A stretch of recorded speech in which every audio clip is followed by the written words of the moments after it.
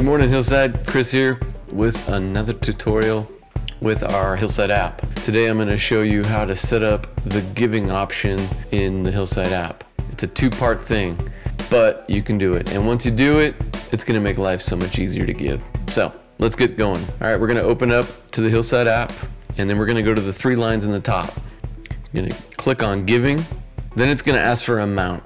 So for now, I'm just going to put a dollar. Uh, then you press next it's going to take you to the secure Subsplash website. All right, now I've already started this process. Like I said, this is a two part process. So what you're going to do, you're going to click link bank account or debit card, whatever you want to do.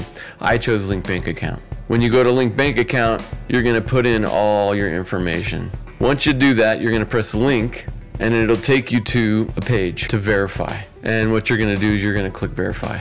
Now, it's going to take two or three days for it to go to your bank account. And what's going to happen is it's going to charge your account cents, under a dollar, two times. What you're going to do, once it does that, you're going to go to your statement, and uh, I'll pull up my statement.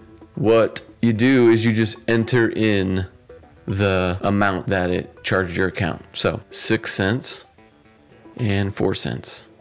The next process. And so then you hit verify.